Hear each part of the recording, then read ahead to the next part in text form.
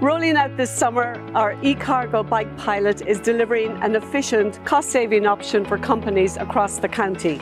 It's a collaborative initiative between Dún Laoghaire-Rathdown County Council, Mobility Operator Bleeper and Enable Academics through the Smart Sandyford programme.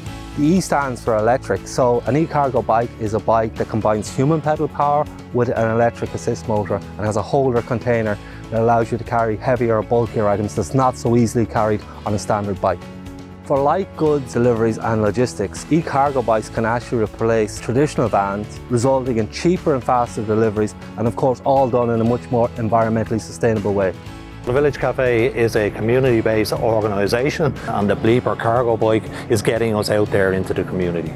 Everybody wants to know about the cargo bike. A lot of people have not seen one before, so we get stopped all of the time and asked questions about the bike. This pilot will provide information on the use and future potential of e-cargo bikes for logistics, both in terms of their economic and environmental impacts. Making our community more sustainable requires people with different competencies, knowledge and expertise all working together.